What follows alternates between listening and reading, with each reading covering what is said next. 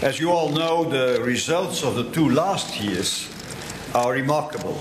The EU-Russia relationship is enjoying its best dynamics for years. However, there is still much we need to do in order to untap what is potentially possible.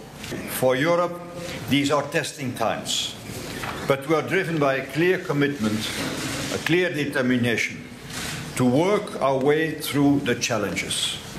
We are also addressing systemic challenges for the economic and monetary union as such.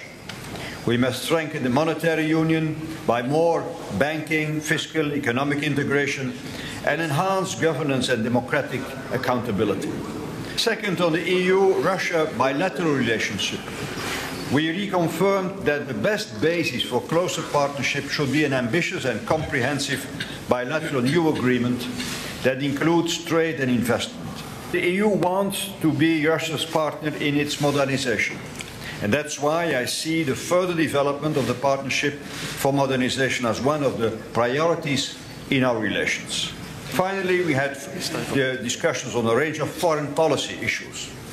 On Syria, the situation is appalling. The Syrian regime should immediately cease all forms of violence and provide its full support to the UN supervision mission.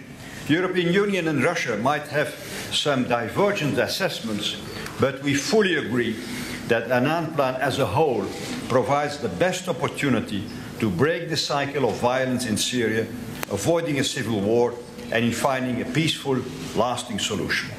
We need to walk towards an immediate stop of all forms of violence in Syria and towards process of political transition.